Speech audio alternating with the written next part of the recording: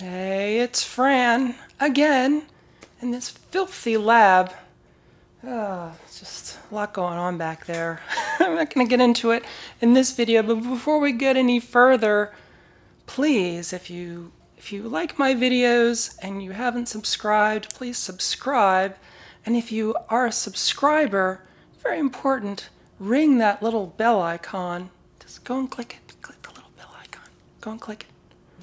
It's very important uh, as a topic of this video because if you don't actually subscribe to my channel and if you are a subscriber but you don't actually click the bell thingy, then chances are good that you're not going to be seeing any of my new videos from here on out because YouTube is about to do the whole Game of Thrones thing and pit all of the big channels against each other for like a winner take all death match for your attention.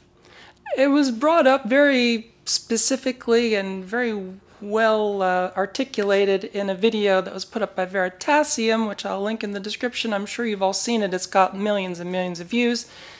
And in that video, he broke down um, the phenomenon of one of his videos and sort of broke down what the algorithms are doing and also announced that YouTube is about to make a change in their platform yet again that's going to make little weird channels like mine pretty much go away altogether. And it comes down to this uh, thing that until now I hadn't even heard of, even as a YouTuber, called uh, click-through rate, or CTR for short. It's going to be the new standard by which all suggestions are done. And in short, what it really means is that uh, YouTube is going to be using the engagement and the clickability of thumbnails and titles almost exclusively for um, determining what gets put into your feed and what you're told is on YouTube. So even if you subscribe to a channel like mine or any of the other channels you subscribe to, from basically from here on out, subscriptions are going to be kind of meaningless. Uh, subscription numbers are going to be meaningless because YouTube isn't going to take that into consideration when it suggests a video to you. It's really going to come down to that eye-catching thumbnail and a really in-your-face title. So as was pointed out in the Veritasium video in a question, what happens to educational content on YouTube? Really the answer to that is to be seen. I think that if this actually unfolds the way that they're saying it's going to unfold, it's going to end up being like an all-out war for your attention and YouTube is going to become, well, it's already in a lot of ways sort of a clickbait site, but it's going to become that pretty much all to the point where if a channel like mine is going to try to make a content about something obscure that's not really exciting or in your face, you know, to the extreme. Uh, if it's not like that, if I'm not shouting a lot, if there isn't a lot of quick action, if it's a kind of a long video, if it's going to be more than five minutes long, there might be no place on the shelf for it in your feed, and you may not even hear about it because YouTube has deemed it to be irrelevant or too irrelevant to be brought to your attention, even if you are a subscriber. So, in the Veritasium video, he brings about um, a, an experiment that was done with pigeons, uh, where they took a, a, bunch of pigeons, put them in cages, and uh, put a lever in the cage, and then pigeons kind of learn that whenever they hit the lever, they get some food, and they do that for a while. And then, the, as part of the experiment, they disable the lever and just start putting food in just randomly, like for with no reason.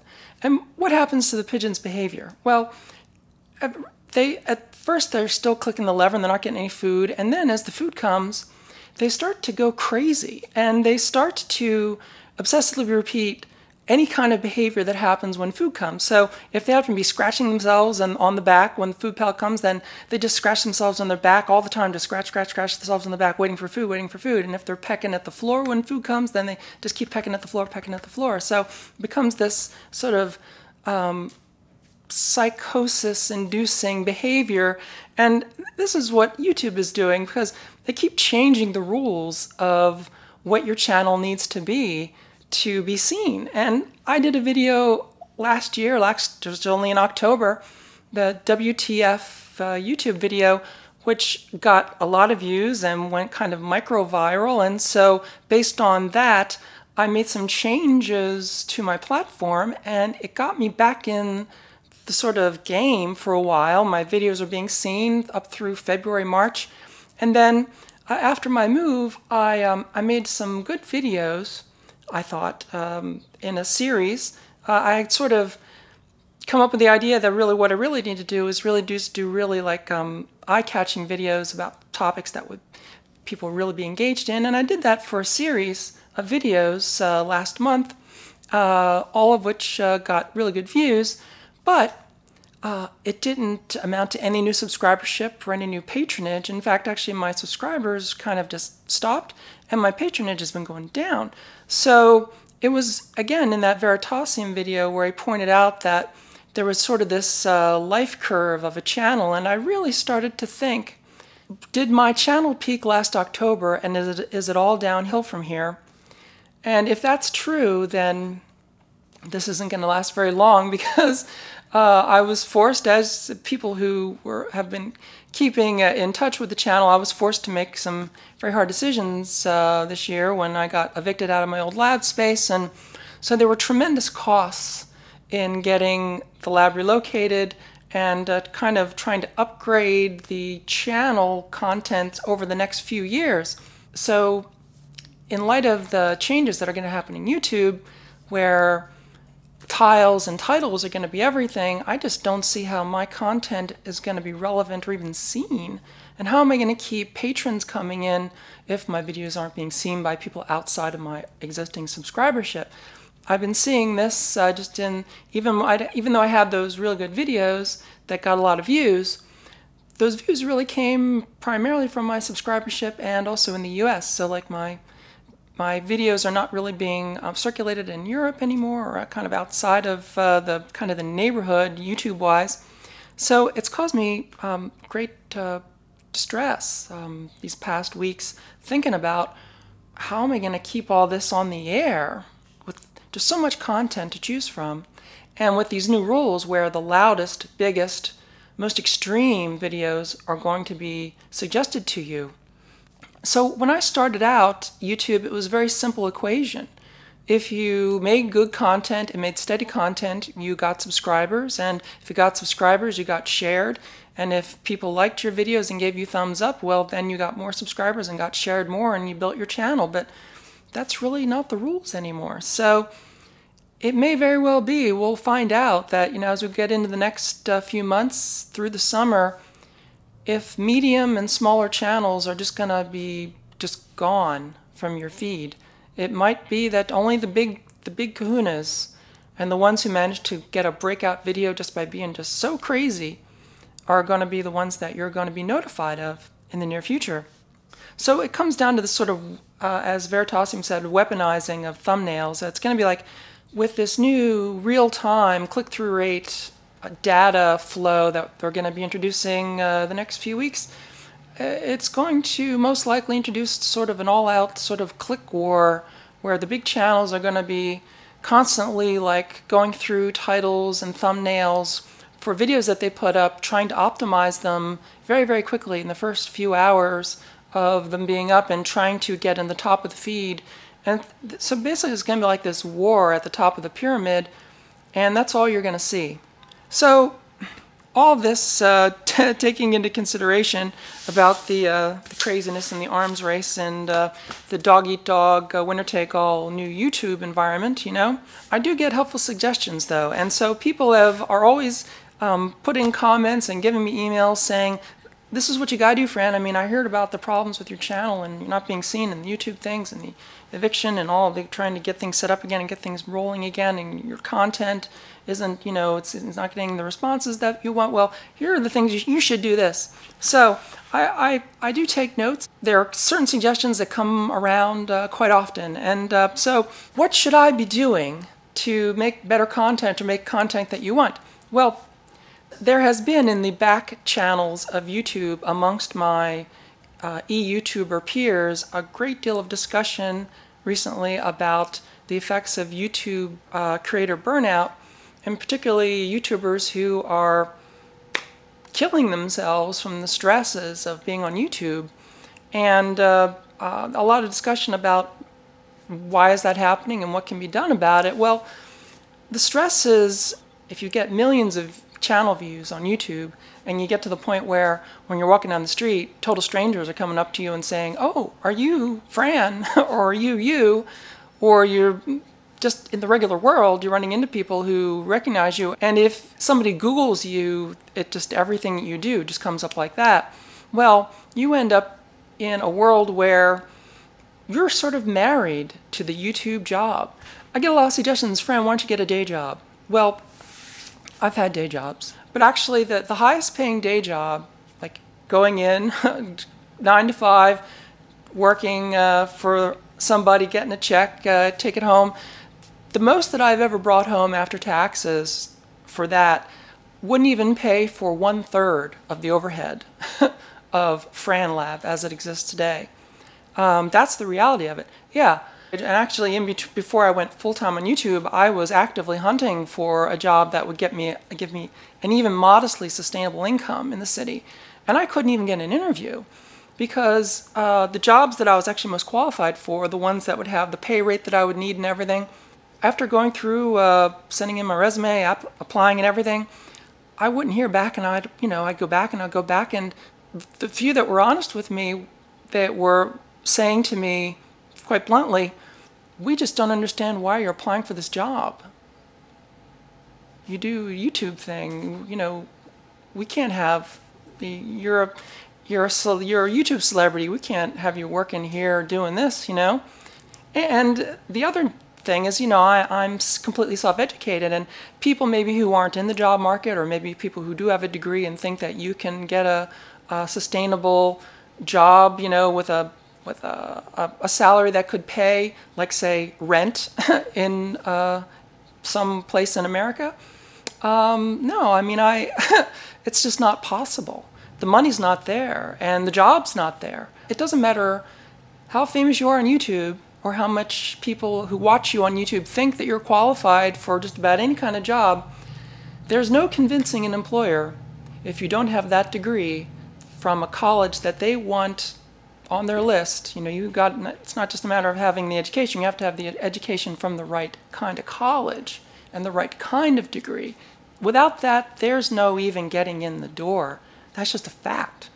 So, it would take three or four full-time jobs for me to pay the overhead of Fran Lab as it exists today.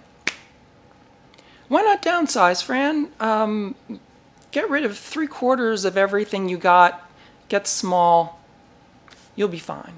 Okay, so some realities about being a YouTube channel, especially one that deals with antique electronics and building things. In order to build things and manufacture things, you have to have parts, lots of parts warehouses full of parts. And if you're dealing with antique electronics, it isn't like I can just give away all these parts and then just, you know, oh, if I need a part, I'll go on eBay and pick it up. No, it just doesn't work like that. In order to do work in the field, you have to have your inventory, which means you have to have parts, this ass loads of parts.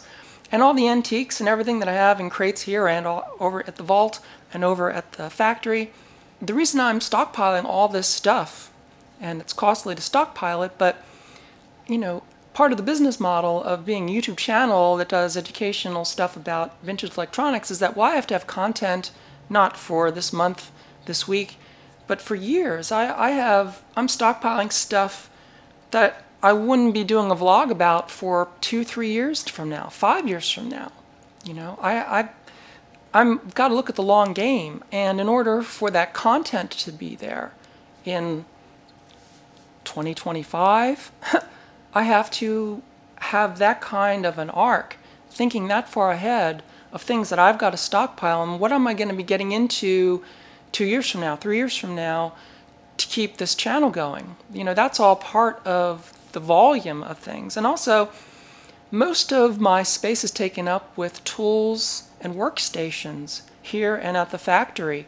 And to give up, if I give up the tools, workstations, and materials, then there's just no there are no more projects there's no cases to be made there's nothing to be manufactured there's nothing to be no metal to be turned no wood to be worked and without the space to have those workstations and the supplies there and the areas to work, um, the work doesn't happen. And so uh, it, a lot of people suggest that I should just have a Big Clive type channel, just one table, and you know, because that's all Big Clive has. Big Clive just owns a table. You know, he lives at that table. And so just have a table and stuff comes and you make content.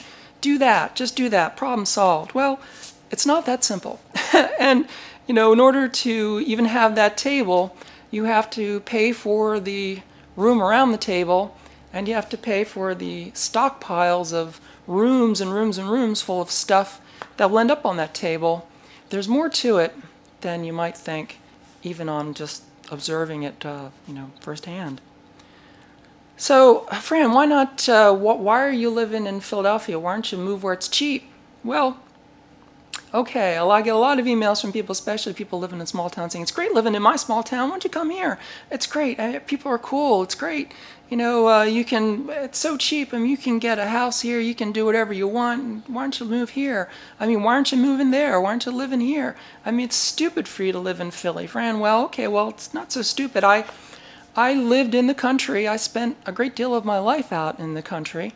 And there are certain realities that I face that you, watching this, most likely do not face. And there are certain realities for trans people uh, in the US and other places, usually when people tell me that they want me to move to their little town and that how great it is, I, I say, look, there's a very simple little test, and just do this for me. Now, anyone who wants to tell me to move to their little town or if they've got a great place where they want to live, just gather up, uh, invite all of your transsexual friends over one night. Just invite all of them, all the trans friends that you know, Invite them all to your place, get them all together, and just ask them firsthand, straight up, how much do you love our little town, and how great is it to live here, and how easy is it for you, and, and how do you rate your living experience in our little town? Just get them all together, all your trans friends. And they all say that it's great. I wouldn't want to live anywhere else. People are great. The living's great. Everyone's so friendly. People leave you alone, let you do what you want to do. Then you, you send that to me and uh, I'll listen. But I live in Philadelphia for a very good reason. I've lived in the country and I've lived in the city. And after I lived in uh, New York for a while, I realized that the only place in the world where I was going to be able to do my own thing uh, with um, the, the lowest possibility of personal danger and injury every day and people just not getting in my business all the time was I was going to have to live in a big city where people just don't give a crap about who you are or what you do. If you live out anywhere else, it doesn't matter who you are. People will care about who you are and what you do. And once word gets around that you're a world-known transsexual YouTube vlogger, your life is not going to be cool. Just put it that way. So I live in Philly because Philly is like the dirt cheapest city in the U.S. that you can live in and still be left alone. So it's my cheapest choice. And I had a really good cheap apartment that had the space for me to do what I was doing. I was doing that for years, six years over there in that place. Got evicted, it got flipped over, gentrified, it's gone now, and now I'm here, and it's expensive. Um, people say, Fran, you should do Frantone again. Why aren't you doing Frantone? I mean, you were so successful at Frantone, and you're famous for that, so why are you doing this? Why don't you just go back to Frantone? Well, okay, well, thing about Frantone is I've, I've gotten more and more and more in recent years of people thinking that I'm some kind of legend at Frantone or that I got rich doing Frantone and that I retired and did this. Frantone, no, I never made any money at it. I, I went into deep debt, um, and I still have debt from Frantone. You can go into incredible debt doing manufacturing, but there's no money to be made in manufacturing, especially today. You know, you, you have to have incredibly deep pockets with immense resources to have huge chunk of funds to tap into even to make any kind of profit in manufacturing. There are just there are realities I won't even get into with this, but Frantone uh, never I never made a dime. You know, all the years I made it, I, I just I was I retired Frantone in the hole, and uh, I remain in the hole. it's a different issue to FranLab, but I ended up doing video stuff and doing YouTube full time out of necessity. I didn't. It's it's my last stop on the way to oblivion uh, this is the this is the last thing that I can do. And bringing back to what I said earlier, once you get to a point where you have established yourself on YouTube and you, you know, I've got like 6.8 million channel views or something like that. It's like once you get to that point where people are just recognize you on the street and where anybody can Google you, you're not going to get a job interview. You're not, you're not going to get an office job working for a company where you're this um, controversial online figure where people have all these opinions. A, a person's not going to hire you if you have the power of YouTube where you could, if, if something went wrong at work or if you didn't like your boss, that you could go on YouTube and bitch about it and people would hear you that you're a liability if you have an audience on YouTube uh, for employer. Em employers that uh, have companies that take money from, you know, um, organizations that would disapprove of you as a person. I've I have a long history of that, even before YouTube. There was a long history of that. So no, and this is the thing about YouTube burnout. Why do people feel so desperate that they take their lives? Well, uh, you get you get boxed into a place where you have a thundercloud of opinion around your head 24 hours a day. Completely contradictory advice, completely contradictory criticism of everything you do.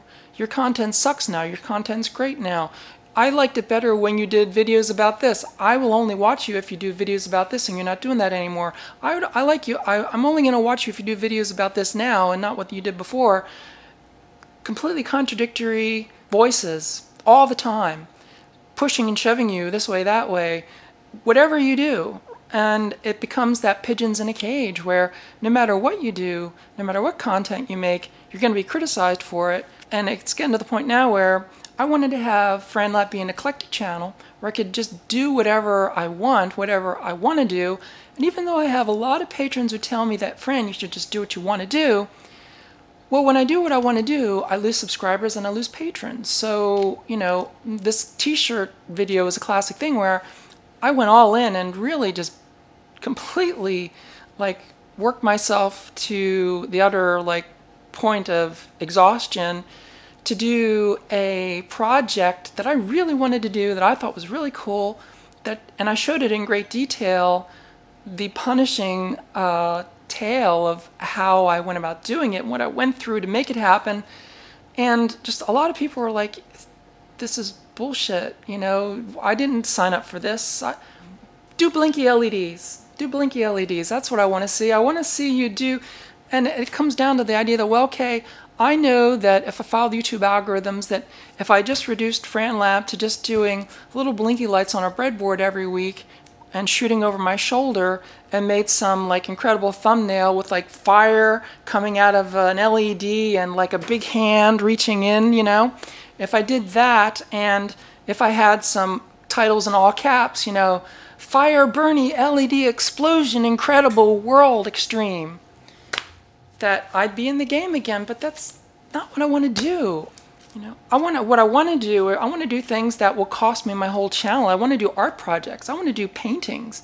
I, I have this woodblock project that I've been trying to put time into, but I can't put hours into it because I got to do these other things so I can get the lab set up with the ventilation system and everything so I can get back to soldering and give you what you want rather than doing what I want to do. Because if I make the content that I want to make, I'm going to lose most of you. And this channel will be dead, and I'm I'm only 60% funded right now, or 63% funded. And I, I put out uh, the, the call to my patrons and my subscribers over the weekend to just tell them the situation like it was. And I had dozens of patrons dig deep and up their pledges like it's just amazing. I mean, I, there were dozens of people that said, I, I'll give you more, just stay at it. And those people are what make FranLab happen. And um, but I, I, I also lost more patrons than I. There, there were more patrons that I lost putting that announcement up than the people who upped their pledges. It, it's it's still and that's that's the game. That's the pigeons in the cage. No matter what i do no matter how honest that if i'm honest it costs me. Um, if i tell it like it is it costs me. And i just i'm trying to just get I just wanted to get the channel to a point where it would be self-sustaining and I could just do what I want. And you see me in my element, but the audience for this channel only wants to see me in my element when I'm doing a particular thing. I don't know how I can pull this off. You know, I, I I was in a good situation last year. Very good situation. It just wasn't it just wasn't gonna last because I didn't own the building. And the building's not there anymore. And so now we're here and it's expensive and Fran Lab is broken up into four different locations instead of being under one roof as it was. And so now it's expensive and it's time consuming and I want to give you give you what you want, but there's not one voice. There's just all these voices saying that the channel has to be all kinds of different things. And making demands that it has to be my thing or I'm leaving. And so maybe the Veritasium curve is right. Maybe it did peak last October and maybe this is the downside. And given all of the numbers in the equation, uh, there's very little I can do to reduce cost uh, at this point. Um, so I don't know uh, if you if you're an employer and you got a very gainful position for me. Hey, send me an email. I'll listen. Uh, I'll take that job. Do this part time. Uh, if you uh, if you're a benefactor, if you're some rich person and you've got you know a big trust fund or you've got uh, all these resources and you've got money to spare and you think that FranLab should continue or you think that I should make FranLab kind of the dream of what I want it to be, and I shouldn't have to worry about what thousands and thousands of people think about it, well, then please uh, become my golden patron, you know. Just uh, do that and fill up the gap, and then I'll just, I'll go to town every day making this channel exactly what I want to make it and make the content that I want to make. I would love to do that. But uh, if things come to pass as uh, it seems that this is going to happen. Things are going to get real, real fast. So, what happens when all this caves in? I can't tell you. But, um, that's it for this one. That's my rant. Again, um, you know, you, you don't have to like this video, but if you liked any of my videos ever, please subscribe, please hit the bell, and you might get a notification for a future video, maybe not, I don't know. The rules are gonna be, it's gonna be Thunderdome. It's gonna be no rules pretty soon. So, anyway, this isn't really the video I wanted to do this week. I got another thing. I'm trying to finish this ventilation system so I could get this other project done, but, um, and I, these boxes are gonna have to be dealt with uh, the next few weeks. Gotta make videos for them. So I got content. I'm just trying to get it all together. I'm just trying to get it all together. There's just a lot of stuff going in the background I'm not going to bore you with. But anyway, that's it. I'm Fran. I hope I'll see you around the lab real soon. Bye!